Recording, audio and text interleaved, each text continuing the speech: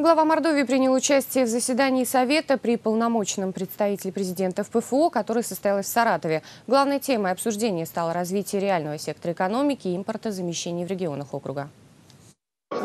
Участники Совета осмотрели выставку продукции предприятий Поволжья «Сделано в России, сделано для России». Свои импортозамещающие проекты на ней представили и предприятия Мордовии. Кабели нового поколения, оптическое волокно, компоненты для солнечных батарей. Эта продукция мордовских производителей вызвала интерес полпреда Михаила Бабича и министра промышленности Дениса Мантурова. Владимир Волков рассказал о том, как идет реализация этих проектов и какие задачи ставятся на перспективу. В прошлом году в Саранске открылся первый в стране завод по производству оптического волокна. Раньше эта продукция на 100% закупалась за рубежом. Теперь завод в Мордовии может обеспечить до 50% общей потребности российского рынка.